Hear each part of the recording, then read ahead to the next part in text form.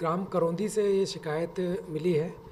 वहाँ की एक निवासी लड़की है जिससे इस व्यक्ति ने फेसबुक और मैसेंजर के माध्यम से फर्जी आईपीएस अपने आप को बताकर दोस्ती की और लंबे समय तक उससे बातचीत करता रहा, उसको अपने विश्वास में लिया। उसके बाद ये लगभग पंद्रह बीस दिनों से इसके गाँव में आ गया और इसके साथ इसको अपनी पत्नी बनाकर रह रहा था। इसके बाद जब इनको शक हुआ तो इन्होंने फिर जब पुलिस को सूचना दी, जब पुलिस ने छानबीन की तब पाया गया कि ये फर्जी व्यक्ति था और इसने फर्जी रूप से एक लड़की का शोषण किया और उसके ससुर और उनके परिवार वालों को भी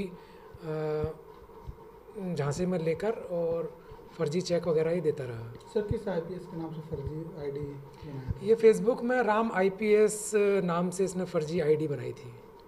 कहाँ के रहने वाले हैं? ये व्यक्ति जो आरोपी है ये यूपी तरफ़ का कहीं का रहने वाला है। सर क्या नाम है कपिल कुमार इसका नाम है। 28 वर्ष करीब इसकी आयु है। इसको गिरफ़्तार कर लिया गया है। ये तीन सौ छिहत्तर और चार सौ बीस की धारा लगाई। आई पी आई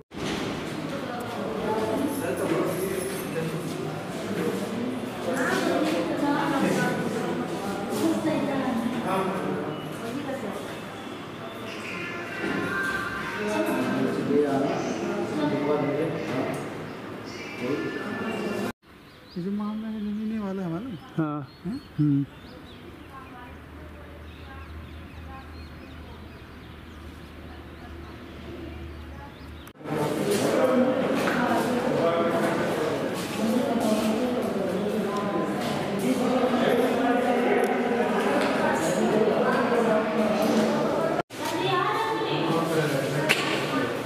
अच्छी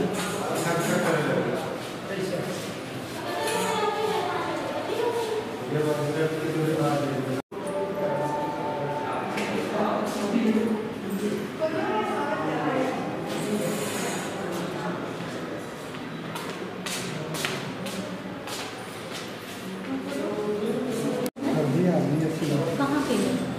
कहीं पता है आदिवासी